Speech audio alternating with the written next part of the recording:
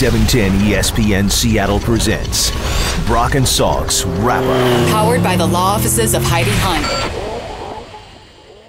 No, it wasn't a bar mitzvah or any other formal ceremony, but Tony Wroten became a man this week. What does that mean for the Huskies? That's next.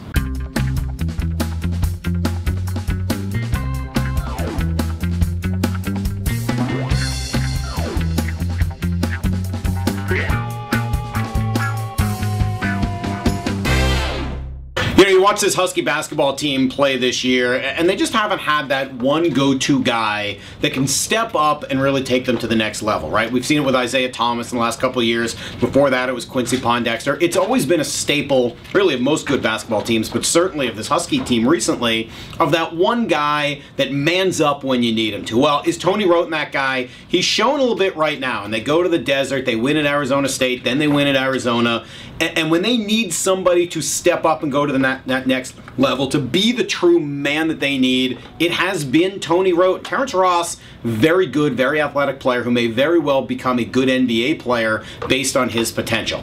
But does he have that aggressiveness? Does he have, he's a, he's clutch, not taking anything away from the shooting, but is he the guy that demands the ball in those big moments and goes right after the rim? No, he's not. That's what Tony Wroten has been, and we'll get to watch now in the second half of the Pac-12 season whether or not that's enough to carry them into the tournament, and if it is, what kind of a dangerous team they could be once they get there.